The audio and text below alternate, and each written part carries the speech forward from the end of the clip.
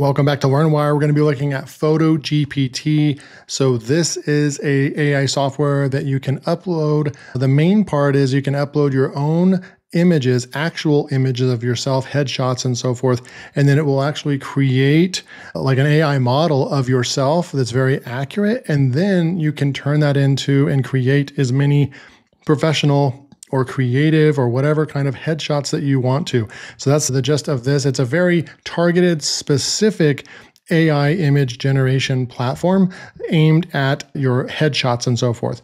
Now we're going to come down and just look at the founders. It's been around since 2023, based out of Colorado.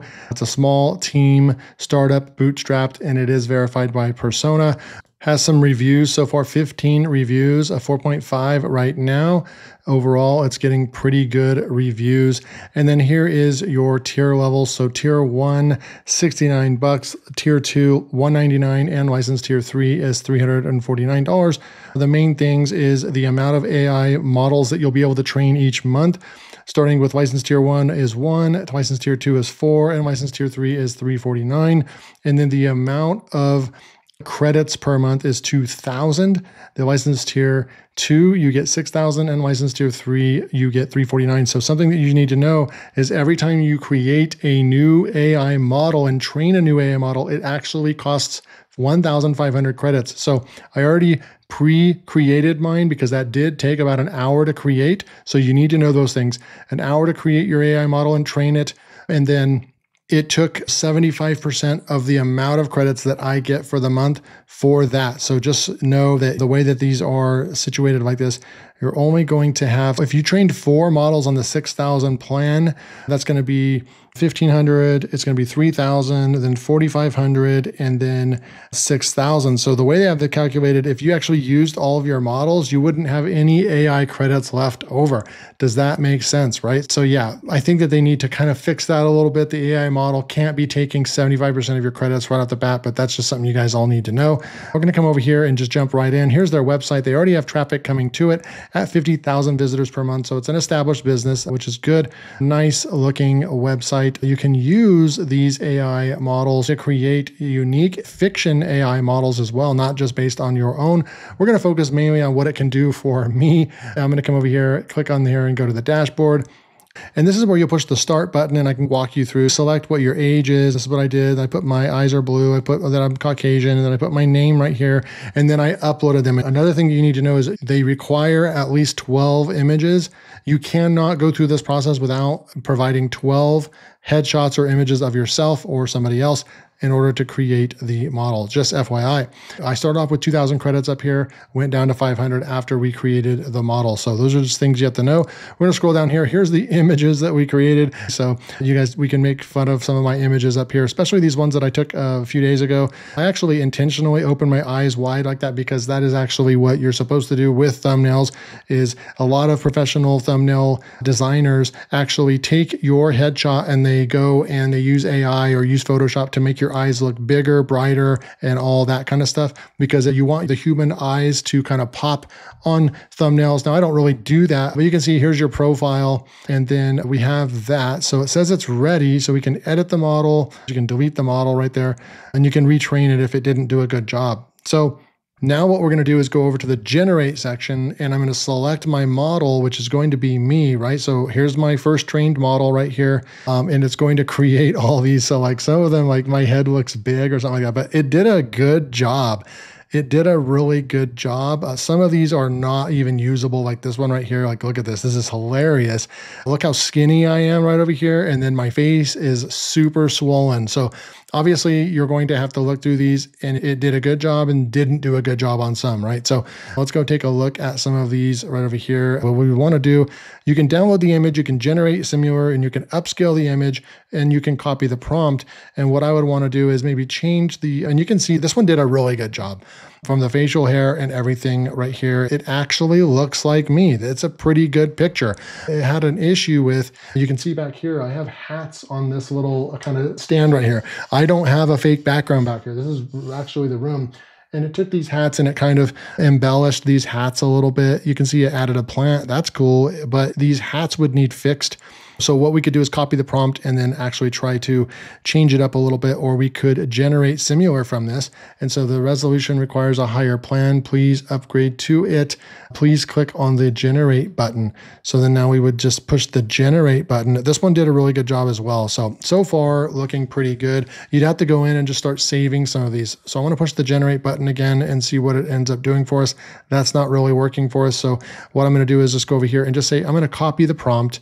I don't see a prompt over here, but we'll copy nothing to copy. So again, we can download the image. I could use this. I don't like the vest and I don't like the hats, but I do like the rest of it. But like when I push this, it's not, you know, it's not, I'm selecting generate. That part is just kind of weird, not really working. So what I want to do is, I don't know why it says all dating. Choose from a beautiful selection of presets like a professional headshots, urban. So I want to go over here and let's just go with professional theme. You have cinematic, street style, fitness, all kinds of different ones that we can go through. These ones right here require like probably a paid plan or something like that. But let's go over here to professional theme right here, generate purpose image generation. Right here, just kind of is doing kind of weird stuff. Like we don't really know what we're supposed to do with the images, advanced options, select a theme, logo design, custom theme. So I'm a little lost in the tool. It's not super intuitive on what to do next. I would just want to go back over here and then go back to generate. And then here are my models. It just created these. So let's just go through because this is what you guys are most interested in. What did it do for us? Look at some of these, the head, the hair kind of the, my face is just a little weird and puffy in that one. So again, I don't know if that one is useful. Uh, this one's super like gurish, really not good at all. Would not use that one at all. Uh, I would say it's kind of about a maybe a hit and miss, maybe 40% or less of them are usable. This one's usable. I would take this one. I don't want the shirt, the vest. It looks just really silly, but it did do a good job with everything else. The background would need fixed as well. So that would also need but you could take this into Canva and remove background, and then you would have the image right here, and then we could actually get rid of the vest as well in Canva. So what we could do is we can actually start coming over here. You can download, you can view the details, view full size image. Let's do that. So there's the full size image in a pretty high resolution. I don't know if we would need to actually do any kind of upscaling. Let's go back over here and see if any of these let us have any upscales. High resolution image upscaling is only on license tier three. So you guys need to be aware of that. Even on license tier two, you won't get that as well. Yeah. So, and then the additional aspect ratios, I don't get those aspect ratios until license tier two. So those are really the big separators between the two plans. And then it does look like a lot of the stuff caters to you having an actual plan with them. But again, that one would be decent. So I like that one. I want to look at another look at it. Let's see if the fingers are messed up on this one. So one, two, three, four. So I only have four fingers on this one. This one would be decent, but again, a messed up finger right there. So no, I do like that it noticed that I had hats on some of my images, didn't have hats on others. It gave a variety of business shots, casual shots, and so forth. So hats in some of them and casual looks, business as well. This one is not quite usable. The face is just a little weird, kind of a little big on the body right there and it just looks like the head looks kind of puffy and large. But at the end of the day, if you used this, it's still going to pop on a thumbnail. So it still could work. This one is really bad right here. I'm going to go ahead and even literally even just get rid of that one because I don't want to look at it again because it's terrible. So, so far, that was the only absolute terrible one. Another thing that we could do we can come over here and look at this. Look how ripped I am over the weekends. If you guys didn't know, I've been out there lifting weights and getting a ripped body like this. So this one actually does look good. This face right here looks extremely very realistic and accurate. It kind of gives me the mohawk spiked look, which a fitness guy probably would have, but that looks like me. This part does not necessarily look like me, but this part does look like me. So it actually did do a great job on the fitness part. I don't think I'd use that, but I do want to say that I like that one. This one is probably not usable. Like this one, that does see the difference between this one looks exactly like me. This one does not look like me almost at all, so we would go ahead and just throw that one away. So this is what you're going to do after it uploads. You're going to go through here. I don't know why it's giving us so many fitness ones. I really want to just focus on business. Here's one that looks pretty decent as well. And these ones are more of those, it's an urban shot and it's a influencer type shot, right? Like I'm in another country or something like that. This looks very accurate to what I look like. This could pass as me absolutely. And this is the whole point of the tool. Could you go and create some images that look exactly like you, your body type, your face, and everything, like you're in Hawaii, like you're in other parts of the world when you really didn't visit there, that you could post on Instagram and things like that. So that's what the whole point. The first initial ones is to give you a variety of what these look like. This one's kind of funny. My head's kind of hunched a little bit, but it does look like me. My face, it really looks like me a lot. It does a pretty good job gives me maybe just a touch more of a belly than I have, but it does look pretty accurate, other than something kind of weird going on with the teeth right there. But overall, I would say it did a pretty good job. So then what we would want to do right here, I don't think I really like this one as well. That one just doesn't look like me. So I'll go ahead and, and remove that one as well. But overall, oh, here's one more fitness one right over here that did a pretty good job as well. This one was probably the best fitness one.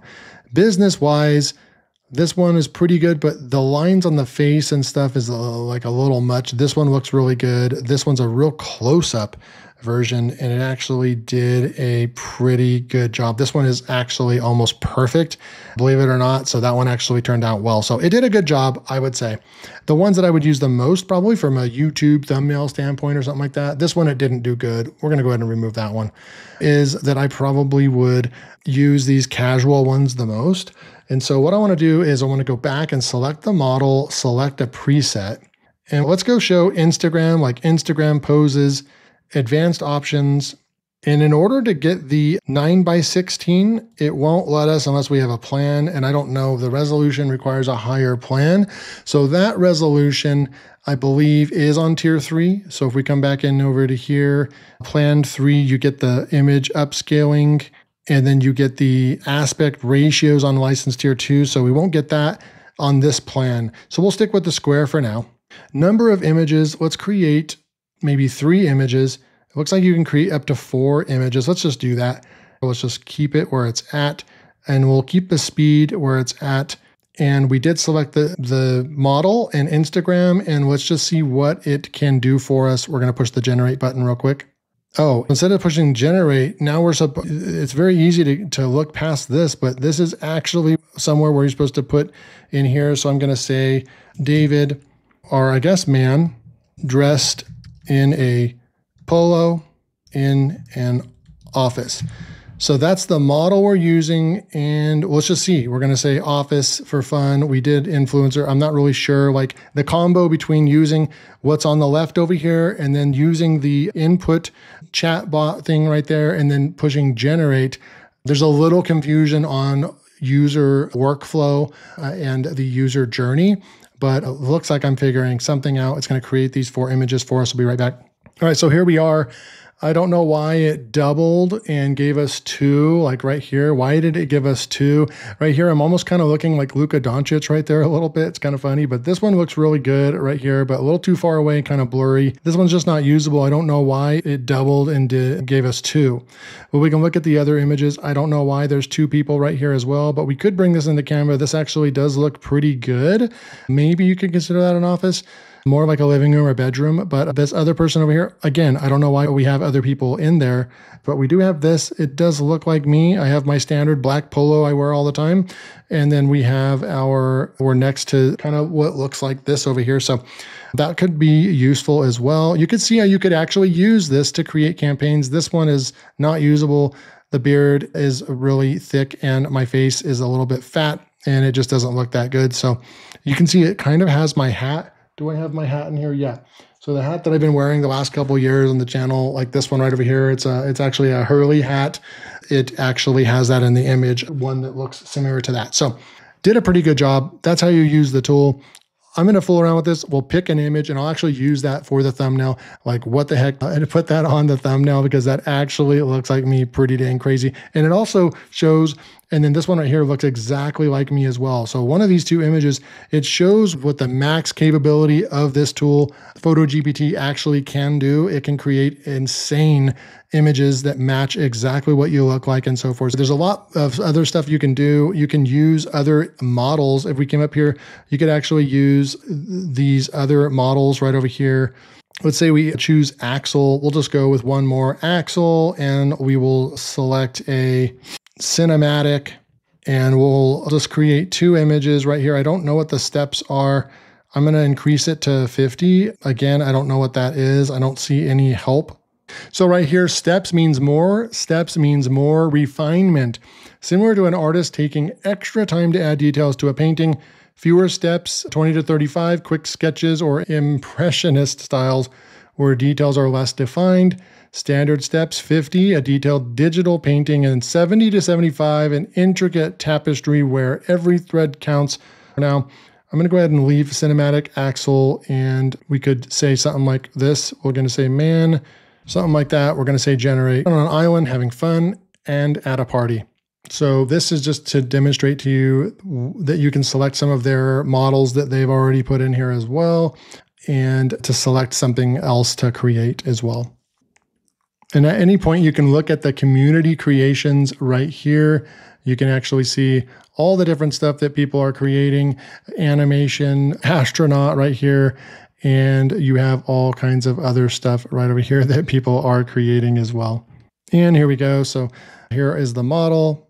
And we have that he's on an island in a, I don't know why, a business suit. So you would probably copy this and you would probably say, you need to be as descriptive. We need to not, if we leave the AI up to do whatever it wants, maybe it just feels more comfortable putting everybody in a suit.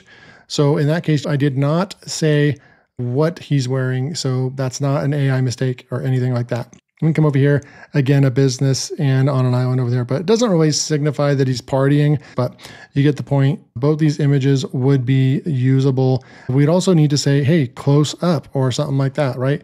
Overall, I'm pretty impressed with this tool, to be honest with you. There are some usable images in there that look just like me that I could see myself actually using the tool to create some really cool headshots. This one gives us a good foundation and a tool that we can go out there and use our images. For me, I would actually use it in my business to create, use an image and then maybe put different shirts on myself, put different expressions on my face and so forth. So overall, this was pretty dang good. I've got to give this a solid four stars. The user interface and the journey is a little confusing and so forth. The credit system on creating a, a custom AI headshot took 75% of my credits, marked down a little bit on that as well. But overall, this tool performed. There wasn't really any glitches or anything like that or bugs a solid four stars out of five for PhotoGPT. The link will be below to go pick it up while it's on AppSumo. I do know the price does increase. At the time of watching this video, you'll have one day to make a decision. So go pick this up as quick as you can. It will be on AppSumo for a while. This, the price is going to go up a little bit. So thank you guys for joining me, and I'll see you in the next video.